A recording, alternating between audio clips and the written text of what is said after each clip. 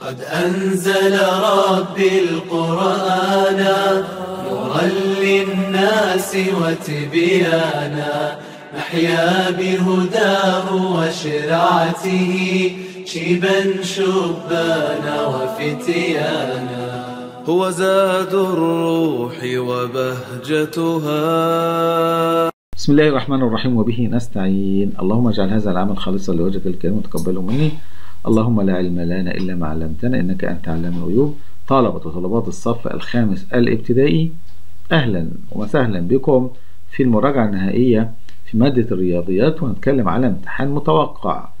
لا تنسى زيارة قناتي على اليوتيوب قناة الجزء التعليمية والاشتراك بها حتى يصلك كل جديد. لا تنسى أن تفعل خاصية الجرس. نبدأ مع بعض. السؤال هنا بيقول لي أكمل ما يأتي. تعالوا نشوف السؤال بيقول إيه. أكمل ما يأتي.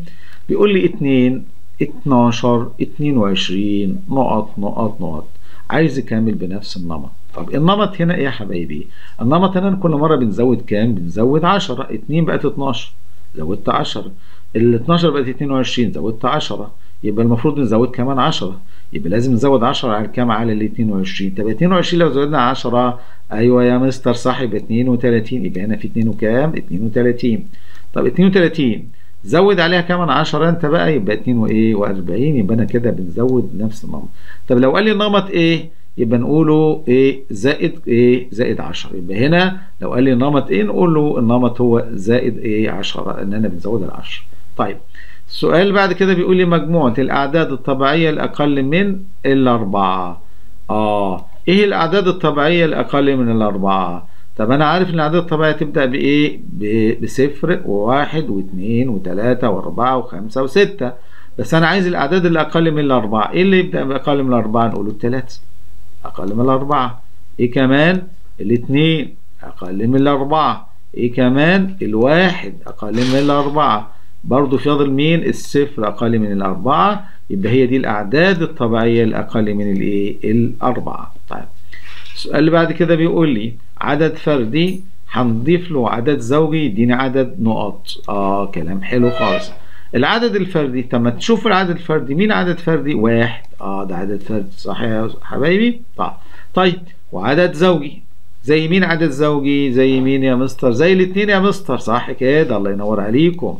طيب تعالوا اجمعوا العدد الفردي اللي هو واحد. مع العدد الزوجي اللي هو اتنين. مجموعهم كام؟ واحد واتنين كام؟ تلاتة. طيب ادي تلاتة. طيب تعال نشوفوا بقى. الايه العدد الفردي والعدد الزوجي بيساوي عدد التلاتة ده. عدد فردي ولا زوجي بقى؟ دلوقتي آه عدد فردي يا مستر. يبقى نكتبه. عدد فردي على طول كده الخالة بتقول لي عدد فردي زائد عدد زوجي. مجموعهم عدد ماله؟ عدد فردي. يبقى المجموع كده بيدينا عدد نوعه إيه عدد إيه الفردي. الله ينور عليكم. طيب تعال نشوف اللي بعد كده. سؤالنا بيقول إذا كانت 86 في 15 بتدينا 86 في س زائد 86 في 10 فإن س بتساوي كام؟ آه سؤال جميل خالص. طب ما هنا 86 وهنا 86 وهنا 86 طيب كلام كويس. هنا بقى ال 15 ديت اتحولت إلى عددين. مين ومين؟ 15 عبارة عن 10 زائد كام؟ زائد كام؟ آه زائد الخمسة. يبقى المفروض العدد هنا كام يا حبايبي؟ خمسة. ليه؟ لأن إحنا بنقول اسمها خاصية التوزيع. دي اسمها خاصية الإيه؟ التوزيع. وزعت الخم ال 86 على الخمسة ووزعت ال 86 على العشرة. ماشي؟ يبقى دي اسمها خاصية إيه يا حبايبي؟ التوزيع. فأنا دلوقتي بدل العدد ده نحط مكانه كام؟ خمس. صح ولا إيه؟ يبقى هنا إيه؟ خمس. لو أنا ابتديت نتعامل معاه نقوله فان س هتساوي كام هنا؟ هتساوي الإيه؟ الخمس. تعالوا نشوف السؤال اللي بعده. بيقول إيه؟ بيقول لي هنا نص قطر الدائرة التي محيطها 88 طول نص قطر الدائرة التي محيطها كام؟ 8 وكام؟ وإيه؟ و80 عايز يشوف نص القطر يساوي كام؟ تعالوا نشوف كده مع بعض إيه اللي يحصل معايا. طيب يلا نشوف مع بعض يا حبايبي تاني إزاي نتعامل مع المسألة ديت. وبالراحة كده ونشوف إزاي نتعاملوا معاها. طيب 88 ده المحيط. طب أنا عايز نجيب مين؟ نص القطر. أنا عارف إن المحيط خلاص يبقى المحيط أهو المحيط بتاع الدايرة يعني. لو أنا قسمته على مين؟ على آه القطر كله على مين؟ القطر يدينا آه يدينا ال pi. يدينا الإيه هنا؟ ال pi. صح؟ طب أنا عايز نجيب المحيط عايز نجيب الإيه؟ القطر. يبقى إيه القطر؟ ماشي من هنا نقول له القطر بقى. كله بيساوي المحيط على ال pi. طيب المحيط إحنا عارفينه كام؟ 88 يبقى القطر عندي اللي هو اسمه 2 pi يعني القطر اللي هو اسمه 2 إيه؟ pi. طيب لو أنا قسمته انه بيساوي ده الإيه؟ المحيط كله اللي هو 88 اقسمه على مين؟ اقسمه على ال pi. طب pi بكام؟ ب 22 على 7 22 على كام؟ على الايه؟ السبعة. طيب. لو أنا اختصرت دولت هيدينا القطر كله هيطلع بكام؟ هيطلع ب 28 طب أنا عايز نجيب نص القطر بس. يبقى هنا لو قسمت دولت اللي هو القطر كله هيطلع لي بكام؟ 8 وايه و20 طب أنا عايز نجيب نص القطر وطالب مني نص القطر. طب نص القطر اللي هو نق بس عبارة عن كام؟ 28 اهوت. مقسوم على الاثنين اللي هو نص القطر يعني هيساوي كام يا حبايبي؟ هيساوي 14 سنتيمتر. يدينا كام هنا؟ 14 سنتي إيه؟ سنتيمتر. طيب السؤال اللي بعد كده بيقول لي إيه بقى؟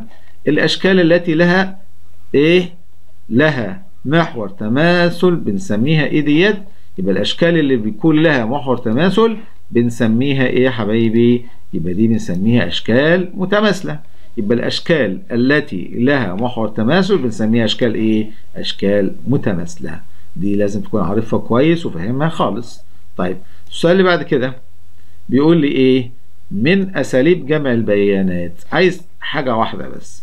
يبقى من أساليب جمع البيانات حاجة اسمها التسجيل والعد والتسجيل. يبقى من أساليب جمع البيانات الإيه؟ العد والإيه؟ والتسجيل. طيب تعالى نشوف الجزئية اللي بعد كده. الجزئية بتقول هنا سؤال مهم وسهل مساحة متوازي الأضلاع بتساوي طول القاعدة في نقط يبقى مساحة متوازي الأضلاع بتساوي طول القاعدة في الارتفاع. يبقى بنقوله مساحة متوازي الأضلاع بتساوي طول القاعدة في الإيه؟ في الارتفاع. السؤال بعد كده بيقول لي إيه؟ أوجد ناتج ما يأتي. باستخدام خواص الجمع طه اوجد ناتج لما يقول لي باستخدام خواص الجمع يعني خواص الإيه؟ الإبدال والدمج. دي اسمها خواص الإيه؟ خواص عملية الإيه؟ الجمع في طه طيب تعالى إيه بقى دلوقتي؟ بيقول لي كام؟ اعمل لي كام؟ 53 زائد 5 وكام؟ و75 زائد 7 وإيه؟ و40 طب دلوقتي هنعمل إيه؟ هنعمل حاجة اسمها تبديل. يعني نبدل يعني هنجيب ال 53 جنبها 57 بنبدلهم مع بعض. ليه بقى أنا بدلت؟ علشان لما نجمع الثلاثة مع السبعة يديني 10 هندور على عددين. لو جمعناهم يبقى مجموعهم يديني الكامل 10 أو ال 100 أو كده يعني. فلازم نجيب الأعداد إيه جنب بعض يبقى أول حاجة بنعملها إن أنا بنجيب نقول 53 وبعد كده جنبها 47 وبعد كده 75 بدلنا. يبقى أنا كده بدلت. يبقى الخاصية اللي قدامك دي اسمها خاصية الإيه؟ الإبدال. طيب كلام سهل خالص. الخطوة اللي بعد كده إن أنا بنحط أو نضع العددين دولات اللي هم 53 و47 نحطهم بين قوسين. خلاص؟ الخاصية ديت اسمها خاصية الدمج. يبقى لما حطيت العددين دولت وضحتهم داخل إيه؟ قوسين كده يبقى دي اسمها خاصية الإيه دلوقتي؟ الدمج. الخاصية اللي بعد كده أو الجزء اللي بعد كده إن إحنا هنبتدي نجمع بقى. نقوله إيه؟ 53 زائد 47 التلاتة زائد 7 ب 10 صفروا معايا كام؟ الواحد. 5 و4 9 وكان معانا واحد يبقى 10 يبقى 100 زائد ال 75 بعد كده هنبتدي نجمع دولت يبقى نقوله 100 زائد 75 الناتج يديني 105 وايه و70 يبقى أنا كده استخدمت خاصية الإبدال والإيه والدمج في الجمع زي ما أنت شايف. طيب. بيقول هنا في الشكل المقابل أعطينا مثلث ا ب ج مثلث وقائم الزاوية في إيه؟ في الألف. واعطينا ألف د برضو. ألف د ده شايفه عمودي على ب ج خلاص. واعطينا حاجات في آه وانت شغال كده بص هتلاقي هنا ألف ب ده طوله 6 سم وألف آه ج بيساوي كام؟ 8 سم وب د بيساوي ك... ب ج بيساوي 10 سم أول حاجة بيقول هات لي مساحة المثلث ا ب ج طيب مساحة المثلث تعالى نشوفه مساحة الإيه؟ المثلث. طيب مساحة المثلث بتساوي إيه؟ يبقى مساحة المثلث أ ب ج بتساوي نص طول القاعدة في الارتفاع. طيب المثلث قائم الزاوية يبقى نص طول القاعدة، القاعدة هنا هنقوله مثلا أ ب دي قاعدة. يبقى أ ج الارتفاع أو أ ج الارتفاع يبقى أ ب الايه؟ القاعدة. يبقى نقوله دي عبارة عن نص طول القاعدة في الارتفاع، يعني نص في 8 في إيه؟ في إيه؟ نص في 8 في في 6. طب اختصر نص الستة كام؟ نص الستة نقوله نص في ستة يعني نص الستة نص الستة كام؟ تلاتة التلاتة في تمانية بأربعة وعشرين يبقى دي مساحة إيه؟ مساحة المثلث طب تاني حاجة طالبها بيقول لي هات لي ألف د هات لي طول مين هنا؟ ألف د طب ما ألف د ده لو ضربته في ب في يعني آه نص طول القاعدة ده يعتبر ارتفاع وب ج يعتبر قاعدة ماشي فأنا دلوقتي أنا عارف إن إيه مساحة المثلث برضو عبارة عن نص طول القاعدة اللي هي ب ج في الارتفاع ا د ماشي؟ طيب. يبقى نقول مساحة المثلث برضو بتساوي المثلث برضو ا ب ج بتساوي نص ا د اللي هو ارتفاع هنا في الحالة ديت يبقى نص القاعدة اللي هي ب ج في الارتفاع اللي هو ا ا ا د طيب. يبقى ا د بس بكام بقى دلوقتي؟ نعوض بقى ونشوف مع بعض. هيبقى عبارة عن طول أ د بيساوي. ك نضرب الاتنين. نقوله طول إيه يبقى اتنين في أربعة وعشرين تمانية وأربعين. ونقسمها على ب ج اللي هي العشرة ديت. هتدينا أربعة وتمانية من إيه من عشرة. يبقى نقوله تاني مع بعض. الألف د نجيبها إزاي؟ هيقول لك اتنين في المساحة على القاعدة. يبقى لما نحب الطول أ د ده اللي هو أ د ده يعتبر بالنسبة لنا ارتفاع. طب نجيبه إزاي؟